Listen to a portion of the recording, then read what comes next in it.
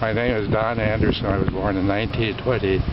Bought this property in 1957. Been here ever since. Hunted uh, my, all my life. I started when I was a kid hunting rabbits. We used to have rabbits up north in northern Wisconsin. They were snowshoes. They were they would turn white in the fall, so you could see them before the snow came. So I've been hunting all those years. My first buck I got when I was about 17. I got it with a 253,000, which was my dad's bought used. I still use it today. Still love it.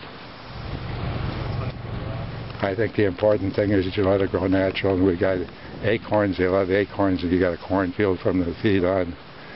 In addition to that, why we just hunt the big ones and let the others grow up to be a big deer. This deer stand has produced many deer. The first buck I got with a crossbow I got, took here, that was two years ago.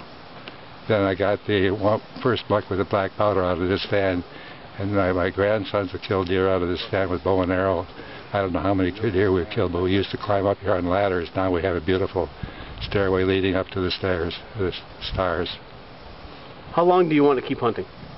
The rest of my life, I want to die shooting a buck or with a big salmon at the other, end of my rod. That's where I want to go. One way or the other. Or a big trout would do it too.